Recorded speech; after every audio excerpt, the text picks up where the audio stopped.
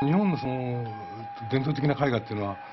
えー、筆で描いて、まあ、色を塗るというねやり方でですから線でそのその輪郭線を取ってそれでそのその中をまあ塗るような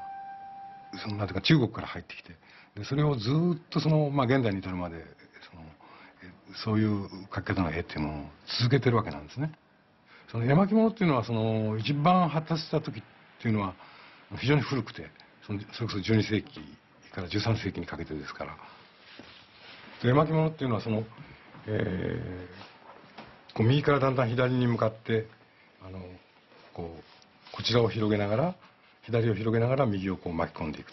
形でこう見ていくわけですね。そうすると物語がそれと共に展開するという形になってます。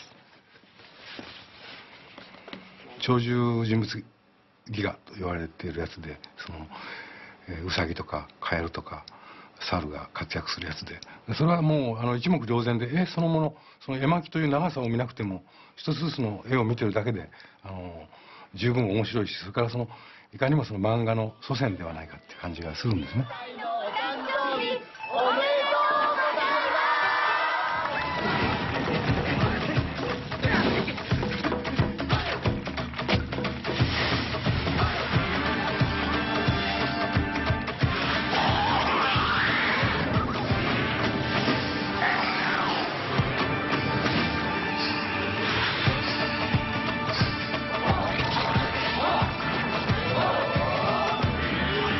絵巻そのものとは直接関係がないかもしれませんね。そのえでも広い意味でその日本のその、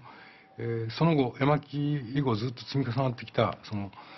えー、その文化の伝統はそのあの狸の絵画の中にその非常に色濃く反映したつもりなんです。